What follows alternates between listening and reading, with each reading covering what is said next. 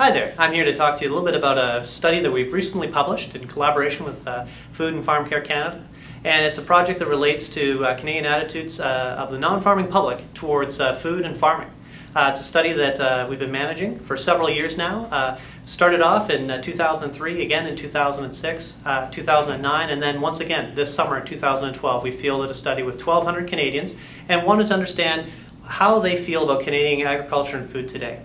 The study uh, is nationally representative, including all Canadian provinces. It uh, uh, also uh, allows us to sample regions, so we're able to look at results as a country overall, as well as the, at the provincial level. Uh, the first slide I'm going to show you is a slide that tells us a bit about the overall impressions that Canadians have of farming today, and it's a great story for Canadian agriculture. As you can see here, this slide shows uh, the overall impression of Canadian agriculture. And it actually captures data from the last three waves, 2006, 2009, and 2012.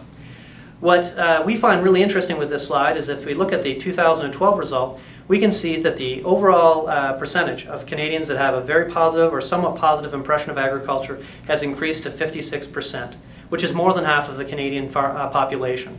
Uh, what's important with this is that it actually has increased from 2006, it was only 41% which is a relative change of 36%, so something that we can feel really proud of and really happy about. Uh, importantly, though, is that, uh, perhaps more importantly, though, is that on the negative end of the scale, we can see that in 17, uh, that in 2006, 17% of Canadians had a negative impression of Canadian agriculture, and that has actually dropped to 8% overall, which is less than 10%, uh, or less than 1 in 10 Canadians. So What's really important from our perspective is looking at this research is that we have a very positive uh, uh, story to tell. We've seen some real change, some measurable change, and it really underlines the importance of having tracking studies to be able to understand how Canadians feel and, and, how, and to be uh, in front of the trends and provide industry with this important data.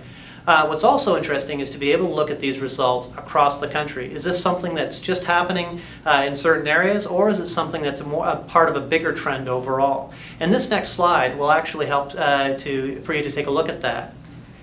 What we can see here is uh, across the country, we, uh, since 2006, we've seen a, a consistent and steady increase in perceptions of Canadian agriculture. In some places it's been more dramatic year over year. For example, example in Saskatchewan and Manitoba, we've seen tremendous increases uh, in both 2009 and 2012.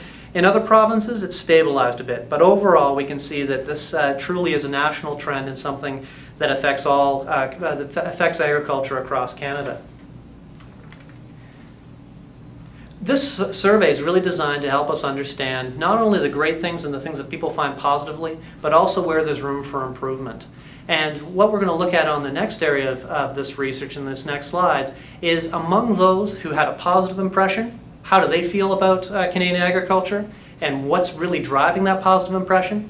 And on the negative side of things, among those who have a negative impression, what, what, where's that coming from and what's really the, the driving force behind that negative impression? I'm going to show you another slide that's going to help to illustrate this. What you can see is that, the, uh, that this is actually the 2012 survey result I showed you earlier. You can see here that more than half of Canadians had a positive impression on the left-hand side. When we ask people, well, what was really driving that, uh, that positive impression, we can see that the leading uh, areas of response were that food's safe, it's well inspected, it's regulated, farmers are ethical, good, trustworthy people, and the Canadian farms produced high quality food. Farming in uh, Canada is also perceived to be better than in other countries.